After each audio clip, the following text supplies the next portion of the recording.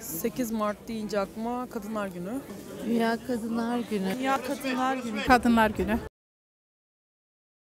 Kadınlara gerçekten değer verilen bir dünyada yaşamak istiyoruz artık. Kimse kimseyi ezmesin.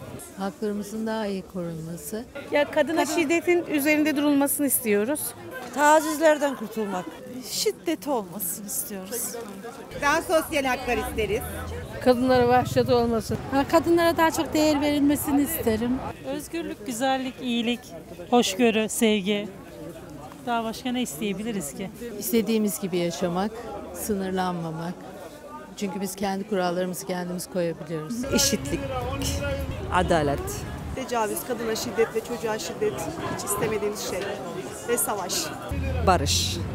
Biraz saygısı olsun erkeklere. Kadın dövmek Bunlara böyle iş imkanı, güzel şeyler.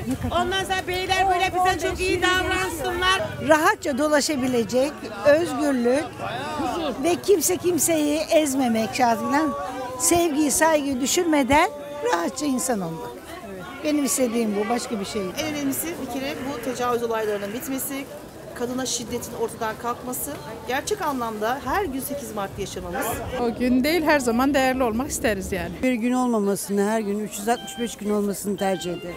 Her gün hatırlanmak istiyoruz. Her gün saygı duyulmasını istiyoruz. Yani kadınlar gidiyor, şikayette bulunuyor, üzerinde durulmuyor. Toplumun bilgilenmesi lazım. Her konuda. Cinsellikle de her şeyde bilgilenmesi lazım.